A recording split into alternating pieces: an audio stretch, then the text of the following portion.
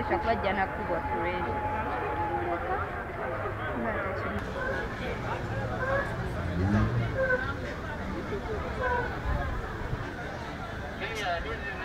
tubajjanjabye tewali azirika embeera eteredde ate n'abalala ndagidde babakomyewo. Yeah.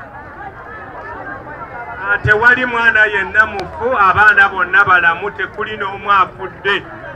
Ya. Mu-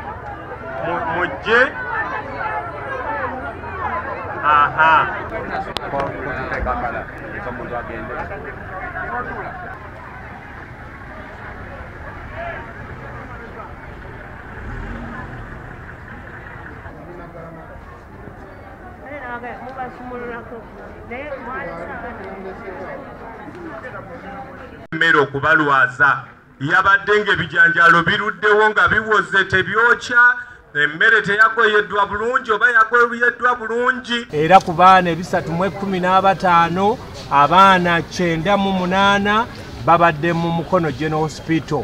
Bajjanjabiddwa barespondinze era nagalama hospital era barespondinze n'abamu batandise obbakomyawo. Abaana mukaaga babadde mu mukono general hospital era nabo bamaze okubasiibula.